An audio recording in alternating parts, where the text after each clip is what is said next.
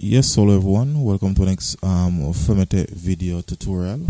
Now guys for this episode i'm going to show you how to actually successfully um activate your microsoft office um software. So as you can see um for some persons they're using microsoft office 2016 and it will constantly um giving them that message that it need to be activated so mine of course it is I would have fully activated mine already. Just gonna take you through the steps in terms of activating yours.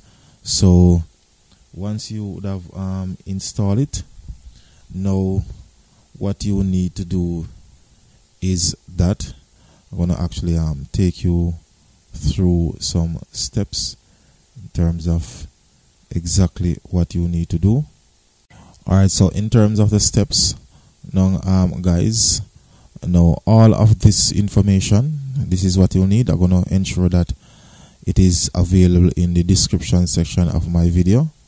So you're gonna actually um copy and paste these.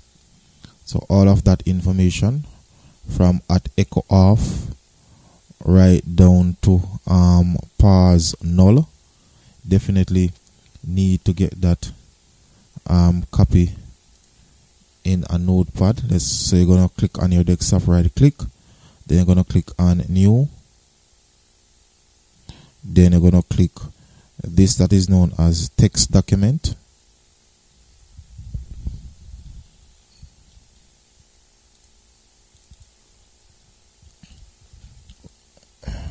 Right so the notepad text document as you can see it is up now so you're gonna paste it.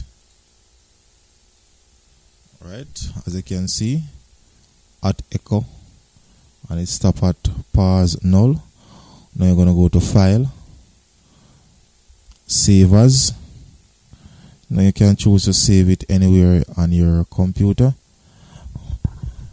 So you're gonna give it a name. So we're gonna need name my activate it is just that the last part of it you're gonna need to have dot cmd whichever name you give this um, notepad text file the last four characters in the name must be dot as in the full stop cmd once you would have done that then you know simple um, go ahead and save it wherever you want to save it on your PC. So I just save mine. Now let's locate. Let's locate it. I would have saved it in my document. So I save mine as activate. That's activate. So here go. So the, as you can see, activate right there. So now I'm gonna right click it. Once you right click it, you're gonna simply choose. So again right click choose run as admin. And you should see this this box coming up. As you can see support Microsoft Office 2016 standard. Also support the professional plus version. So just give it some time. As you can see activating office that's what come up.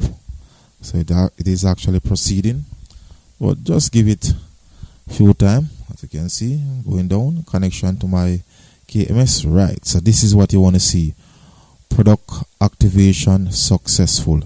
So once you would have um, followed that simple step guys then you actually permanently activate your Microsoft Office 2016 and also Office 2019 as I would have said before um, what you paste in the notepad or the text document i'm going to make that available in the description section of my video. So once again guys if you're new to my youtube channel please remember to click on the subscription button. Of course leave your comments in the comment section of the video and share the video. So once again guys um thanks for viewing. Femitech is out of here